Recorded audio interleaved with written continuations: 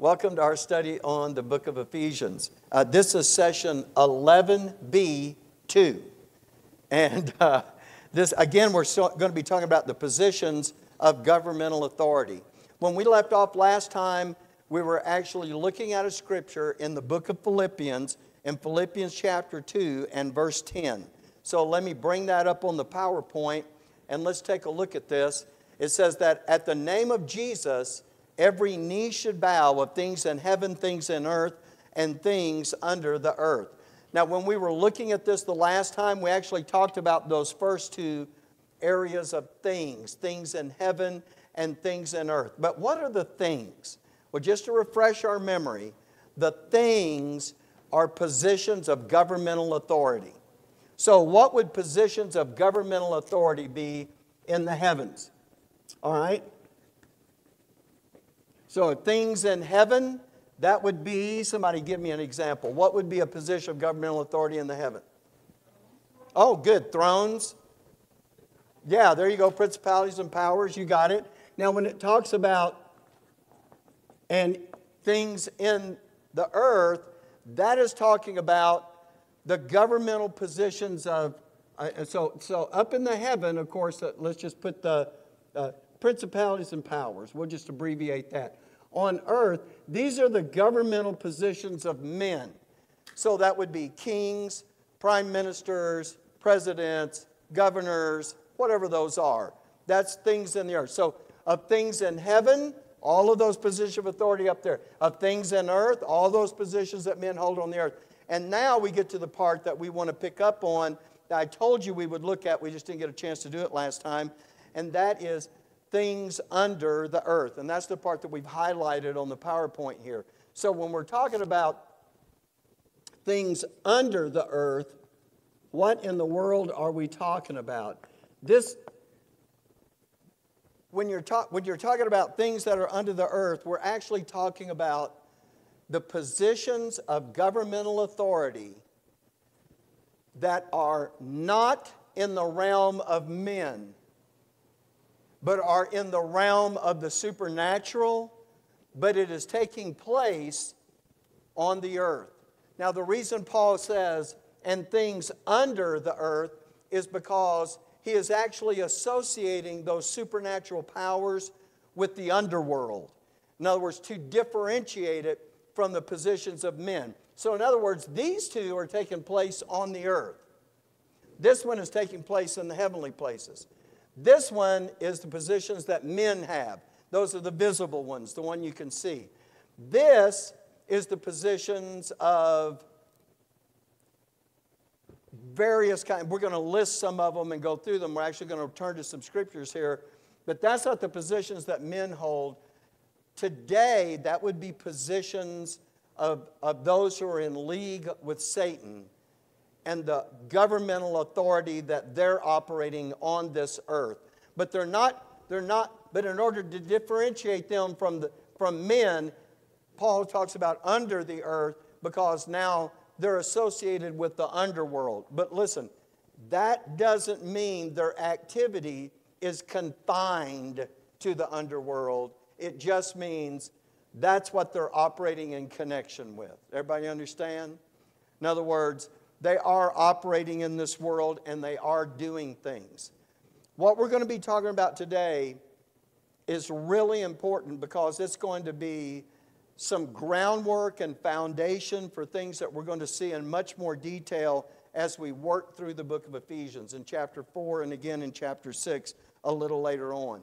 But there is an authority structure for Satan's forces that are on this earth. That's the things that are under the earth. Okay, now, with having said that, let me just say that, and, I, and, and, and, and really I'm just kind of mentioning it because when I was first studying this, I got to thinking, what about once, once evil has been put down? Is there going to be an authority structure for things under the earth? Because we know what that is. In fact, let me just see if you're tracking along with me. Give me, a, so we said principalities and powers, that was an example of things in heaven. Uh, we, we talked about the governmental position of kings and governors, uh, the- what- that, that would be things in the earth. Give me an example of things under the earth. If, if I'm right about what those are, they're operating on the earth, but as part of Satan's, it's part of the supernatural realm. Huh? O- o- o- Okay, okay. Somebody, okay. What else? I'm sorry? I, oh, mites. Oh, oh, oh, you're doing the, you're, you're using those names. Okay. So look, let me, uh, that's true. That's true. Look, I'm, th- and, and if you're looking at some of those others, how about the rulers of the darkness of this world? That would be something that would be here. What's a real common one that we would think of? And, and, and we would,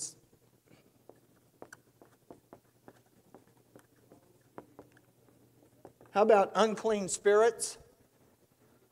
And when we read about those accounts, and so what I want to do is I want to give us an example of the things that are under the earth so that we kind of get an idea about what that's like.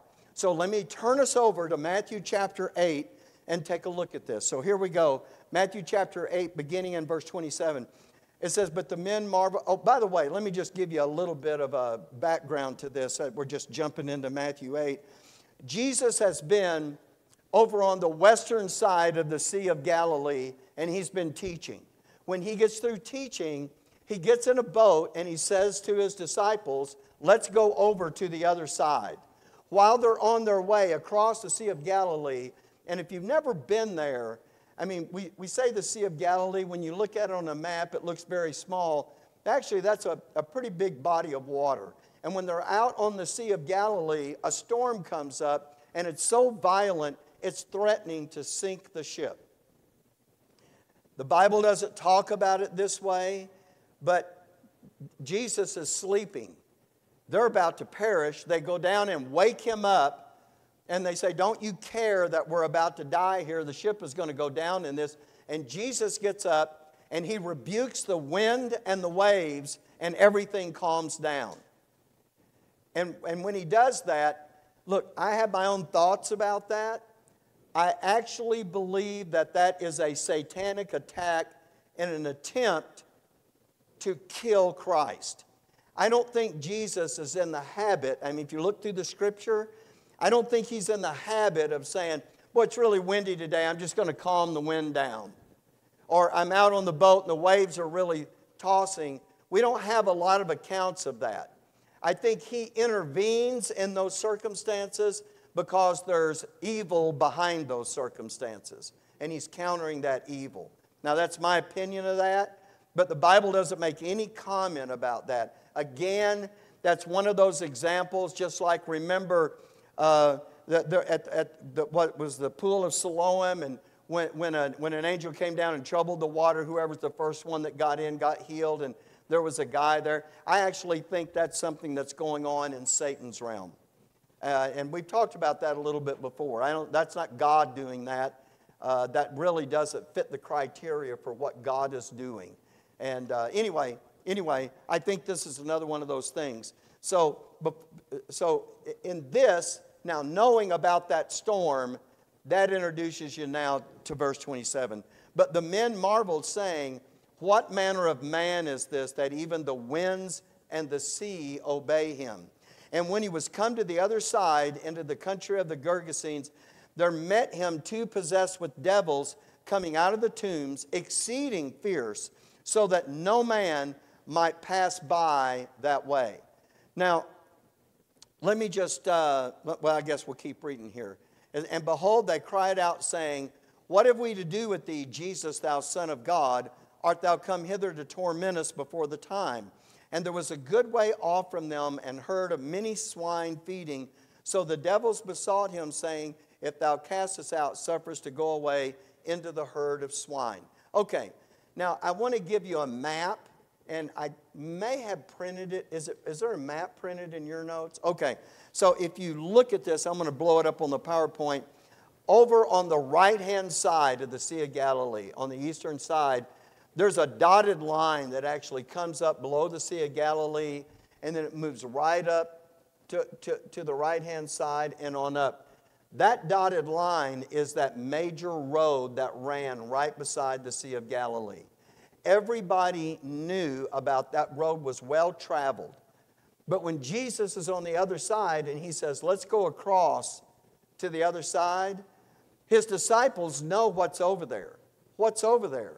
There's two guys over there that are possessed of unclean spirits, and they're terrorizing everybody up and down that road so that people don't want to travel that road. And that's exactly where they're going. So when they get over there, I'm going to pick this up now in the book of Mark, but Mark is going to make a switch for us.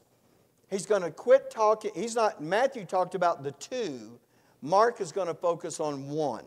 And so let's take a look at this in Mark chapter 5 and verse 1.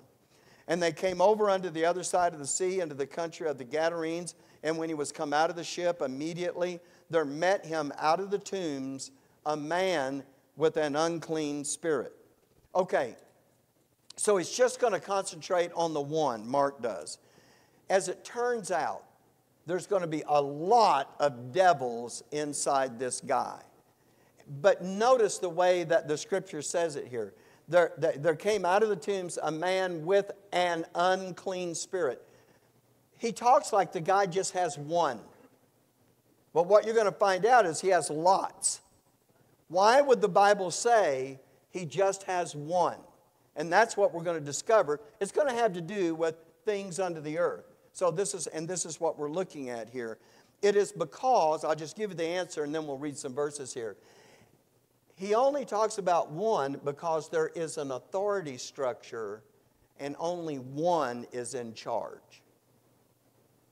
So he's not, I mean, you are going to find out from the account, there's a bunch of them, but, but really, we're just concerned with the one.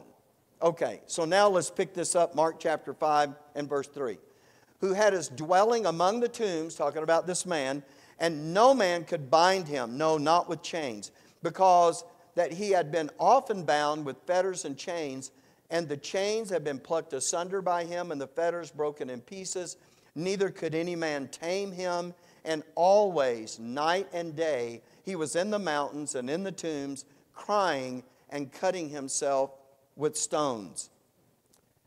But when he saw Jesus afar off, he ran and worshiped him and cried with a loud voice and said, What have I to do with thee, Jesus, thou Son of the Most High God? I adjure thee by God that thou torment me not. Now, by the way, I'm not trying to raise more questions, but does it seem odd to you that it says when he saw Jesus afar off, he ran and worshiped him? I don't see anything about what he's saying here that's very worshipful. That word worship is really talking about acknowledging Jesus for who he is. It's not, oh, Jesus, we think you're so great, we love you. We're not, uh, the typical things that you would associate with worship. That's not what's going on here. Okay. Now, apparently, uh, when he runs up to Jesus, the words that are being said to Jesus, even though it's the man talking, now think about this carefully, is this the words of the man or is this the words of the unclean spirit? It's the unclean spirit. That, that tells you something here, but let's, okay, so let's pick this up now in verse 8. For he said unto him, Come out of the man, thou unclean spirit. See, he's still talking in the singular. And he asked him, What is thy name? And he answered, saying, My name is Legion, for we are many. Now,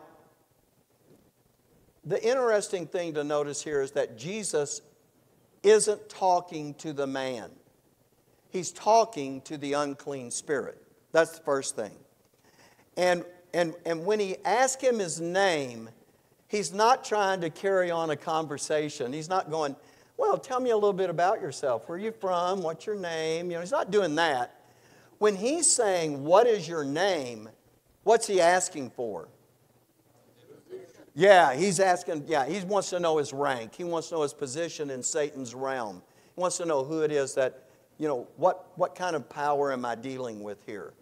And so when the guy says, My name is Legion, for we are many. Now, if you remember a few weeks back, Madison asked me a question when the session was over, when we were first introducing the fact that a name isn't always an appellative, that sometimes is talking about a position. She mentioned this, and she said, Is that what's going on with the guy who said his name was Legion? And that's exactly what was going on there. Okay, so take a look now. Let's see, where we were there. Now I'm going to take you over to the book of Luke, and, uh, and we're going to see this again uh, in the book of Luke. And it says in verse 30, Luke 8:30. And Jesus asked him, saying, What is thy name? And he said, Legion, because many devils were entered into him. So, how big is a legion?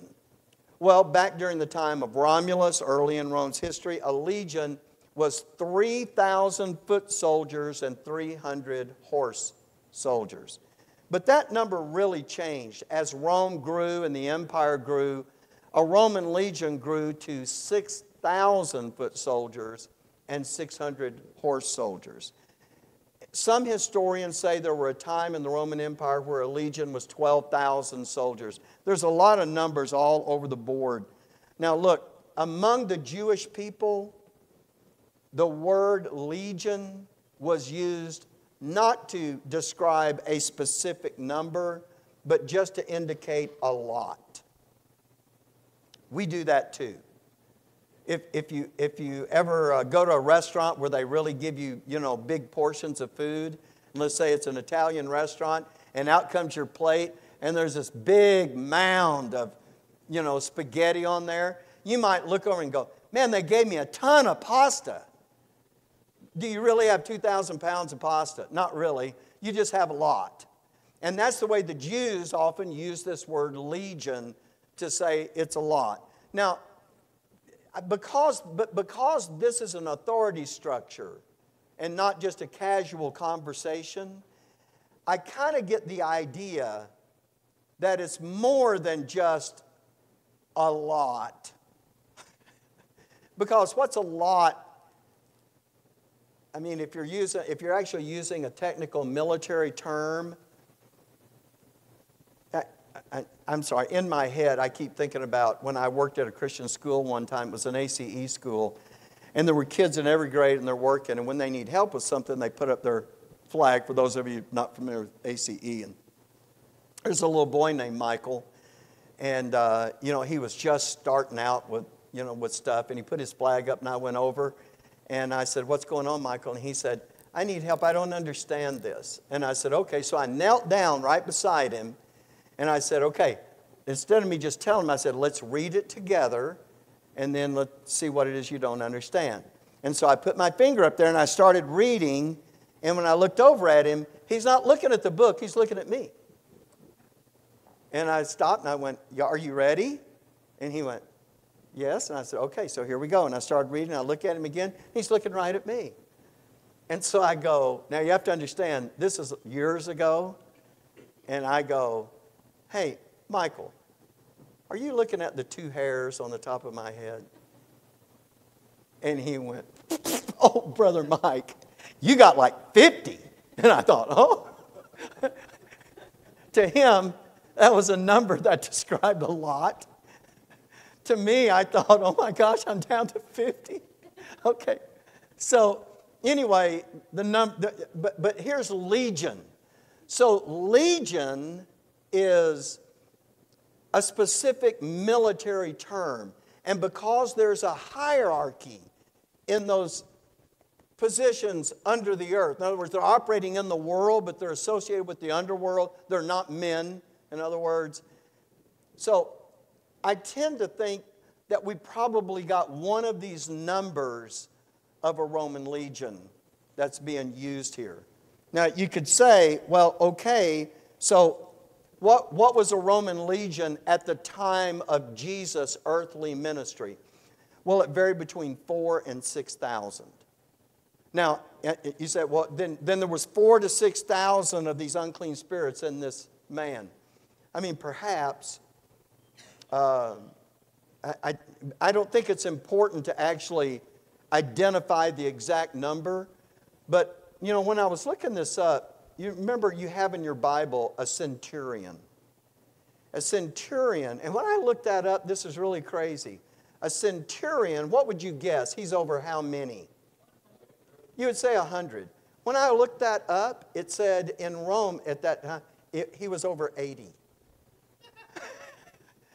and I thought, but we get that word century from 100. You know, what, what centurion? Anyway, kind of threw me off. Anyway, all I'm saying is those names, legion, centurion, all of those are positions of rank. And I wanted to take a look at that so we kind of get an example of what we're talking about when we're talking about and things under the earth. So th- those are the things that are there. By the way, I use this also because I wanted to introduce to you a little bit of a thought process. We're going to do a lot of that today about things that we're going to pick up later when we talk about spiritual warfare. So just kind of remember some of the things that I talked to you uh, uh about here because we're going to greatly enlarge in those later on. Okay, so last week we looked at that truth at the end of the lesson that Jesus actually has two names one in connection with his position on earth and one in connection with his position in the heavenly places. We know from Revelation 6 that his name for his position on the earth is King of Kings and Lord of Lords. And then I took you over to this scripture, to 1 Timothy 6:15, and it says, Which in his times he shall show who is the blessed and only potentate, the King of Kings and Lord of Lords. Okay, so both names that Jesus has are in that. And, and I mentioned this at the first, but I want to expand on this a little bit. Look at the first phrase in this verse, which in his times he shall show. Now, why times plural?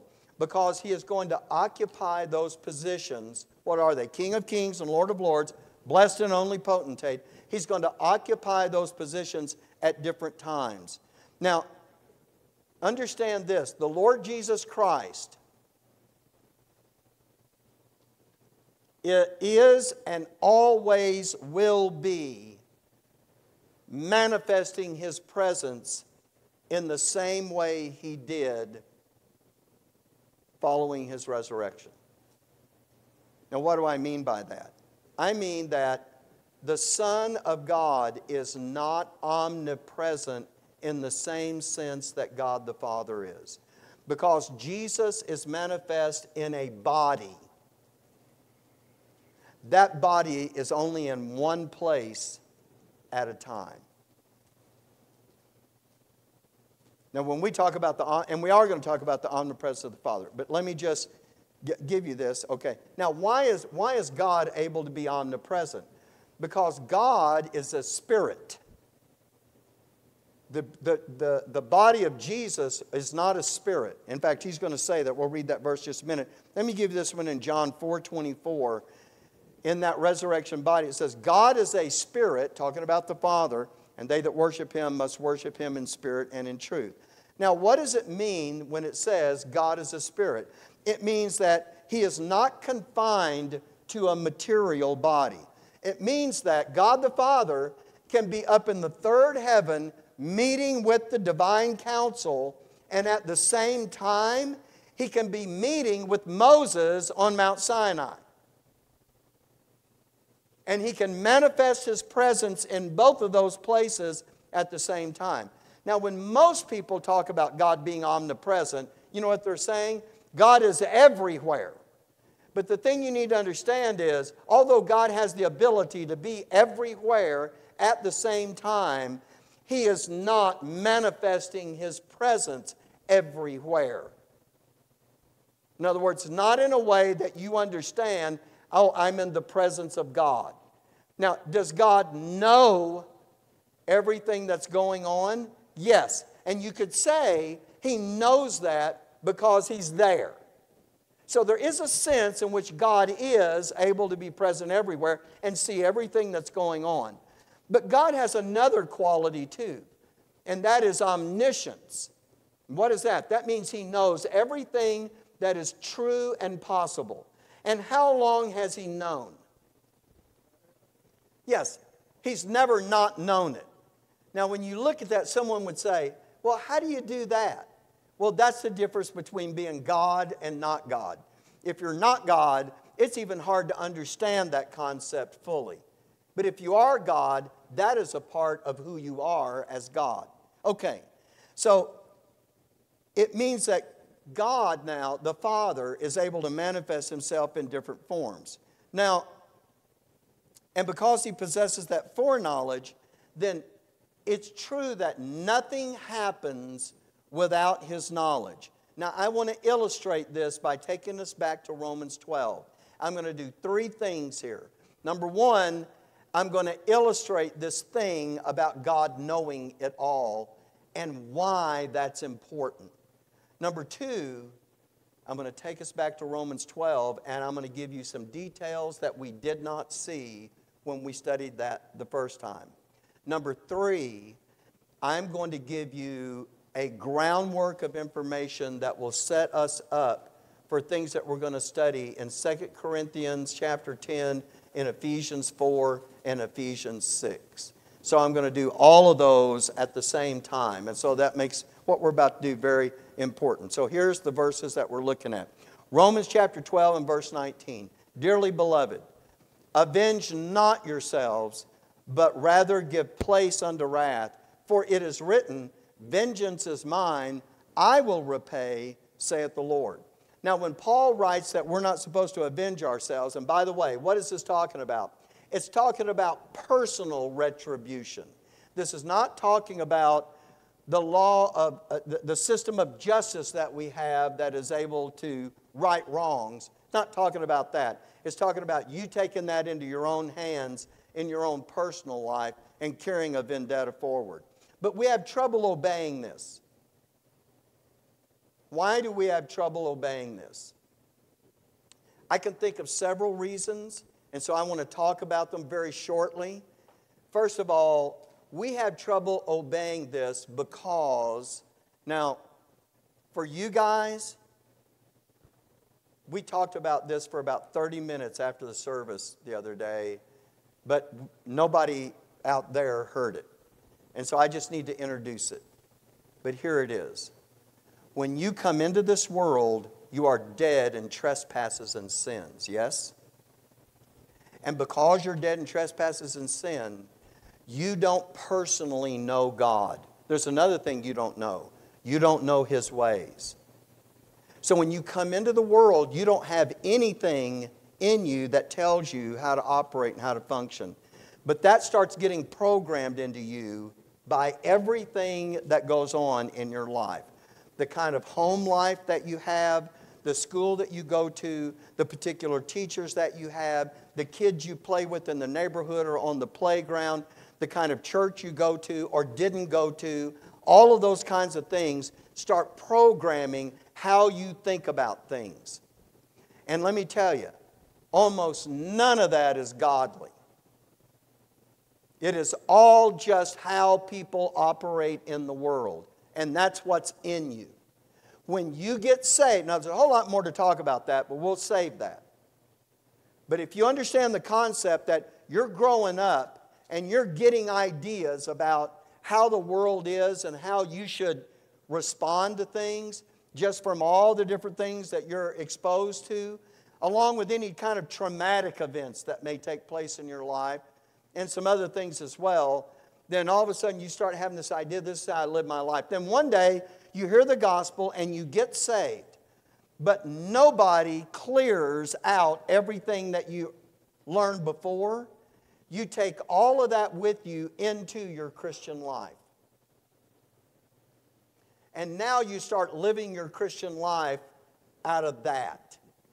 That's still not God's ways. And really, just because people got saved doesn't mean they really know God. They know things about God, but it doesn't mean they really know God. And Satan is counting on that. Because if he can keep you in that condition, your life will be one constant stream of misery. And, and, and he knows that you will never become what it is that you are supposed to become, that what God designed for you to become. And we don't obey this scripture automatically because that's not how we got taught. And that's not how the culture is. Almost every action movie imaginable is people taking personal retribution for the wrongs that are done to them. And you know what that does?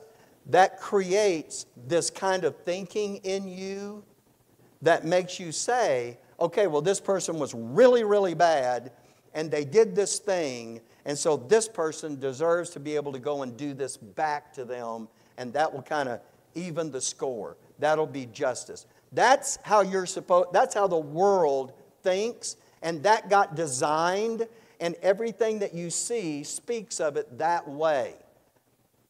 And so if anybody ever comes along to obey this, we think something's wrong with them. Because all we've got is this mindset that got put in us before. So the first reason we don't obey this is because we never got taught that. So then when you read it in Romans 12, people read that and it never it never occurs to them there are some things that I was taught about this issue that are not true. And now I am living my life based on those untruths. And when you do, there are consequences in your life personally now that you're going to incur because you are living in a way that is based on the untruth. And so, part of the renewing of your mind is to replace the lie with the truth and then match your conduct and behavior with the truth.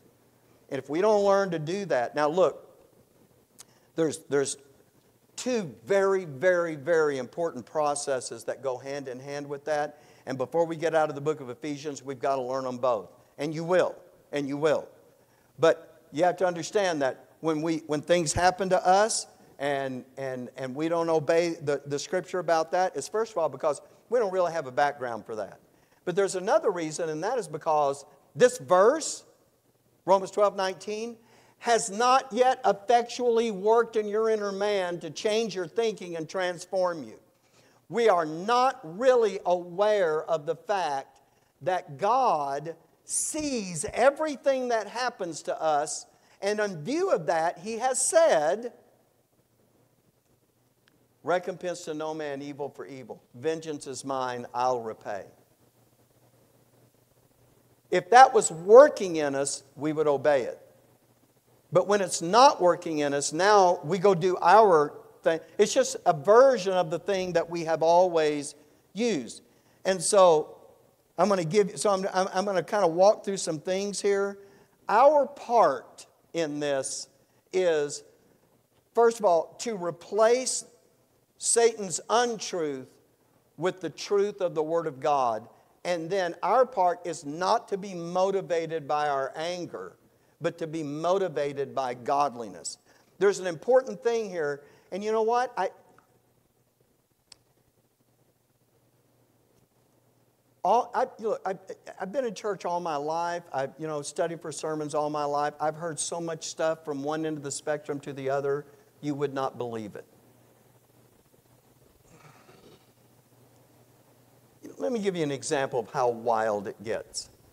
So, when Jesus, remember, said to this uh, Gadarene demoniac, remember when, when he said, you know, he, he, he told the unclean spirit to come out of him, and he said, What is your name? And he said, My name is Legion, for we are many.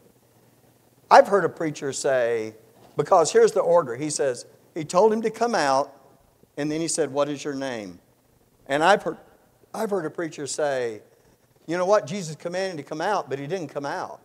And Jesus was surprised. And so he went, Wow, what's your name?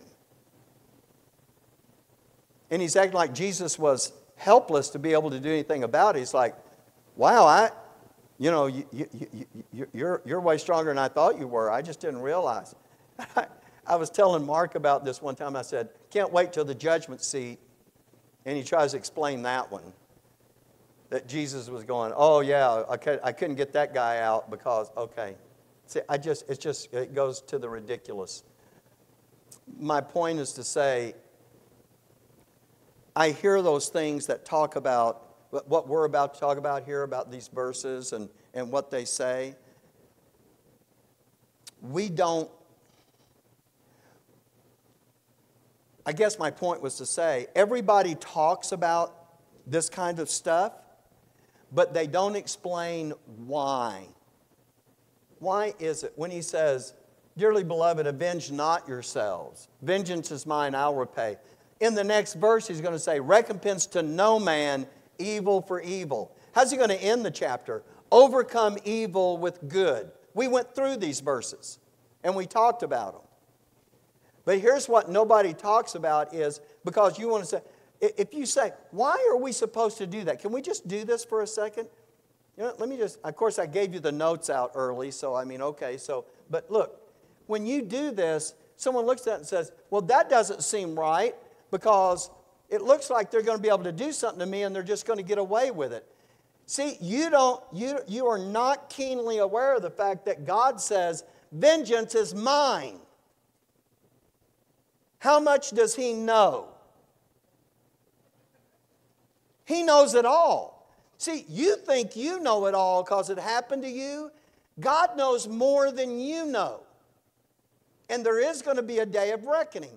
When is the day of reckoning? The person who offended you is a believer.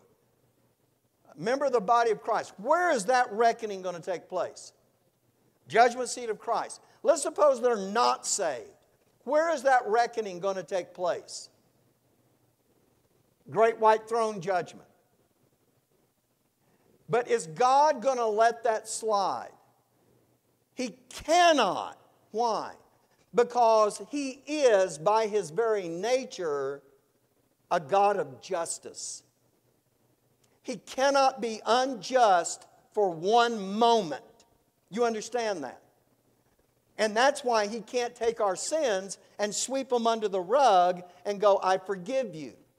That wrath gets poured out on somebody, and that somebody is the Son of God. So justice gets poured out on him so he can offer us mercy. But God's not just letting stuff go. When you understand, but there's a reason that He's telling you don't take this into your own hands. And if I were to say to you, why some people would get a noble answer and they would say, well, because really, we should be thinking about the ministry that we're supposed to be having with this person. Let me give you an extreme example. So here's a young lady who, you know, is, um, she's out somewhere shopping and someone grabs her up and she gets raped and it's a very traumatic event in her life, and she survives it. But now, a lot of things have changed with her now because of that event.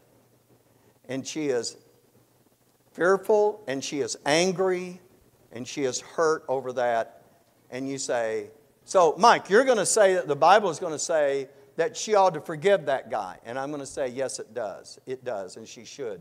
But nobody talks about why. Nobody really talks about why. You say, well, because you're hoping that one day maybe she could have ministry with him. Actually, she might probably never see him again. So it's not like, but I mean, you know, but if, if she did, you know, you would hope that one day the guy would get saved and all.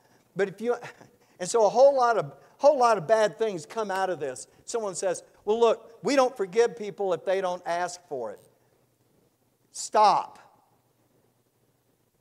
You're, that's totally wrong, and I'm going to I'm going to show you why. But let me get back to the reason why. Do you know why she will forgive him? Because if she doesn't, the bitterness that wells up in her will destroy her. Not, not having this personal avengement toward people who wrong you is not to protect your offender, it's to protect you.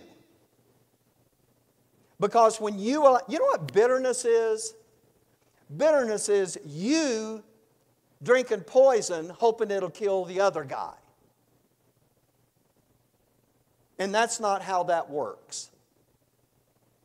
You said, well, gosh, if I let him off the hook, and that's the whole point, isn't it? You're still hooked to that. But let me tell you, let me show you what Satan does.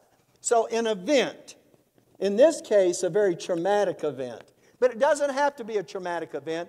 It can be all the years of your life that just taught you how to respond to things in a very particular way going on. But an event happens, and now, because of that event and the hurt that happens to it, your, emo- your emotions come into play. And indeed, they do. And I'm not going to ever advocate for anybody not to have those emotions. We're going to read a verse in just a moment in Ephesians 4 where Paul is going to write, Be angry and sin not. So he's not denying the emotion.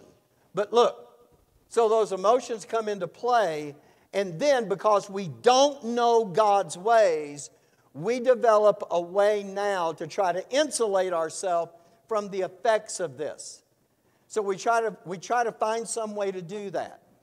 And what happens is we hear something, or we have seen something in the past, or we start thinking something and that something becomes a false guide.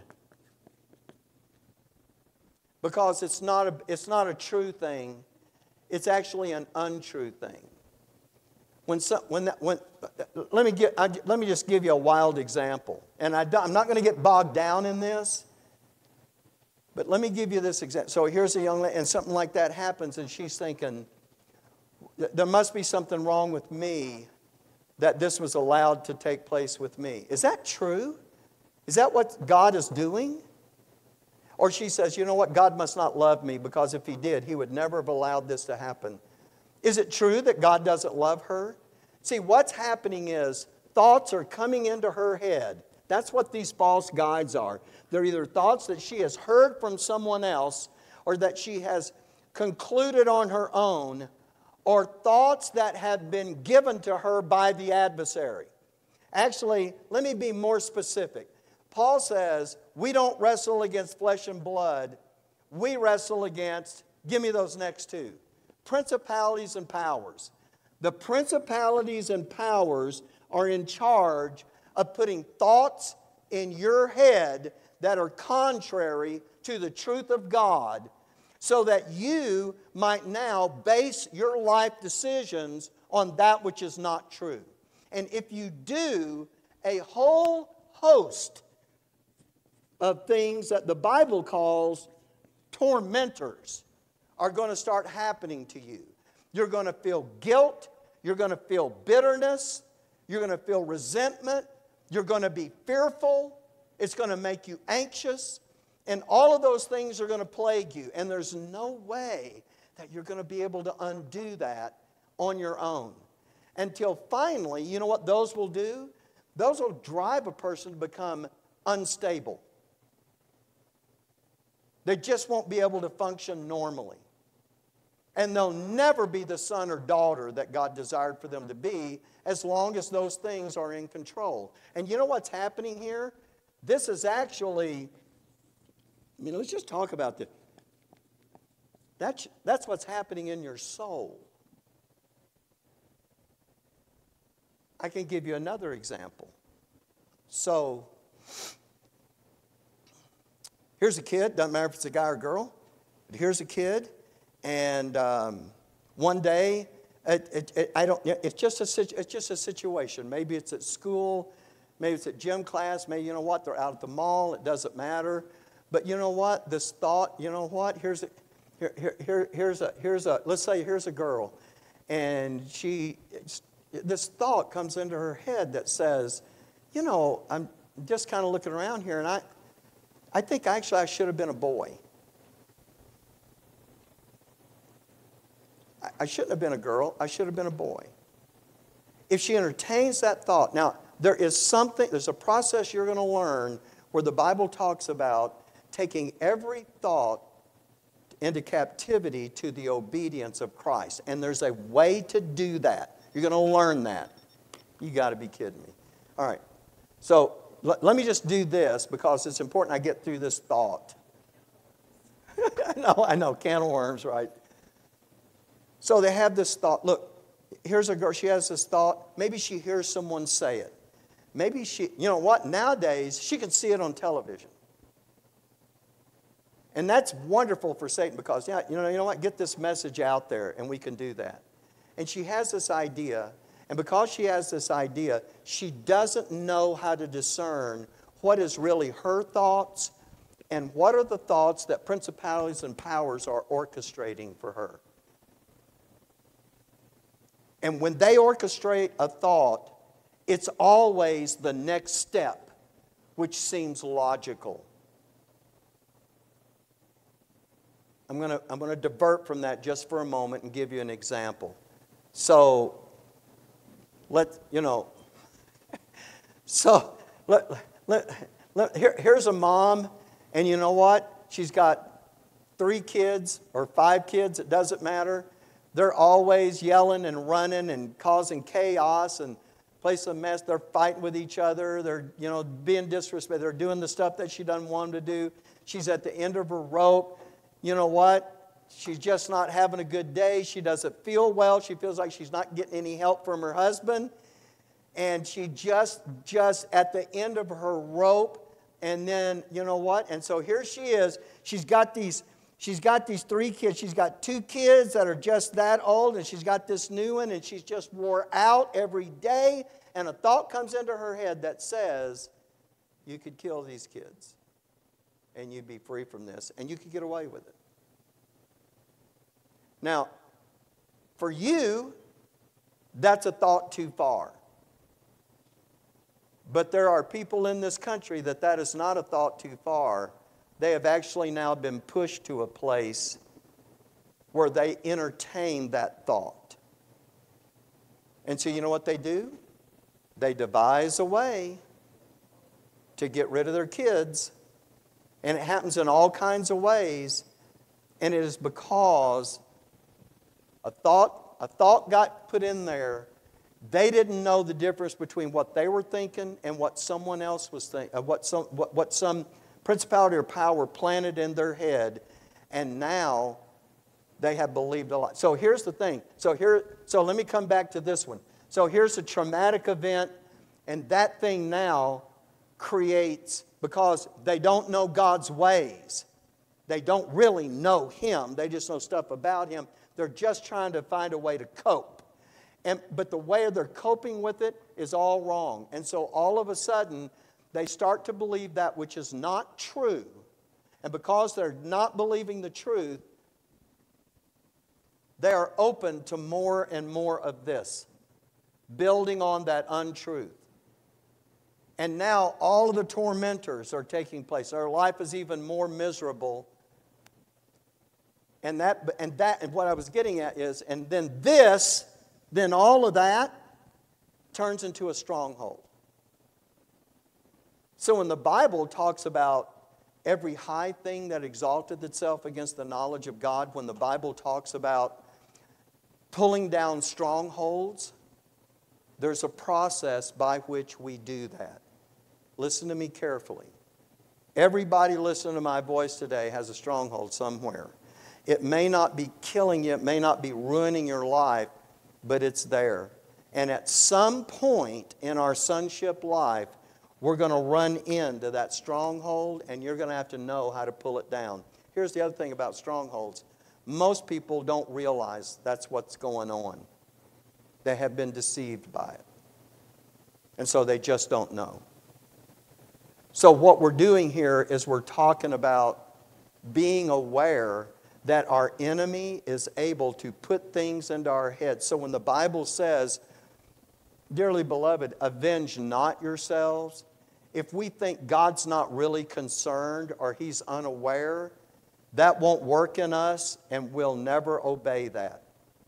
if we don't understand why he's telling you not to avenge yourself, because you are opening the door to the adversary to be able to establish a beachhead in your soul and, and actually now get you living out of a lie that you come to a conclusion out of. Look, when, let, let, let's, look, I happen to know someone. When I was up in North Texas pastoring, there was a family there. There was a young lady that had been raped years before and years went by. Here's the thing if that could haunt someone for 20 years until they identify the lie that came out of that and replace it with the truth and find freedom in Christ.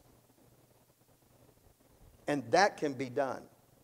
And it doesn't take a long time to do it.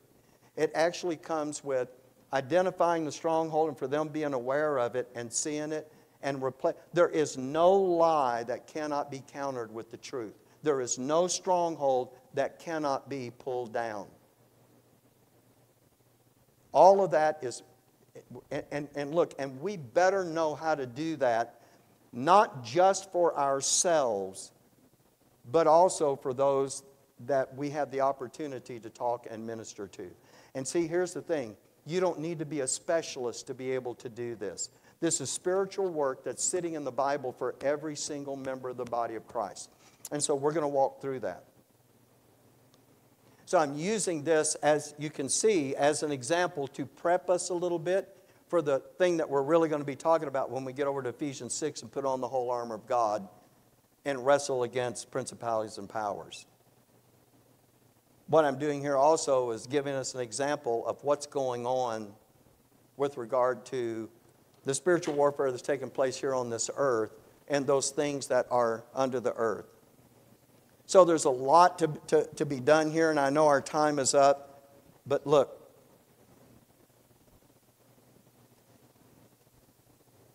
If you can concentrate on every form of doctrine and get that doctrine working in you, that doctrine works to transform you and renew your mind. Because Okay, so let me just end with this. So when Paul writes this, that he has given us the ministry of reconciliation. Be ye reconciled to God. The only thing we think about reconciliation is about being saved. Well, being saved is, uh, an, I mean, it's the foundational part of that. Of course, be reconciled to God. But you understand that you can be reconciled to God because you trusted Jesus as your Savior, and in your daily life, you're not reconciled to Him because you're living out of those strongholds every day, and they control your life.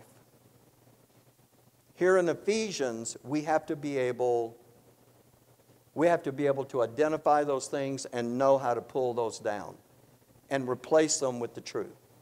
And then we can live out of that truth, and it will literally, I'm not kidding you, it will literally change your life. And so it is very important that we get, and we can. And by the way, we, just to say it, we won't do it publicly in this meeting. What I will do is I will teach you how to do it, and then you'll go home and do it. And, and you don't really need me to do it because I can't fix anything anyway. There's only one that really does that, and that's our Heavenly Father. But you need to know the process to engage in to be able to have that happen. So, this thing is really protecting us. It's keeping us from having a, a, a, a false guide being established in our thinking and now we're living our life based on something. So, you know what really is the problem? The problem is not the traumatic event that happened 20 years ago. The problem is the lie that we believed out of that event that continues to guide us every day. That's what you've got to identify and tear down. And, it, and it's a simple process, and it can get done immediately. You don't need, you know, three years of something. Anyway, I am, I am, I'm very enthusiastic about us learning about this because I think it's going to really turn the corner for us. We have moved from where we were to where we are, but now, so let me, let me, let me use Clifford's deal. Remember when we got over to Romans 13 and he went,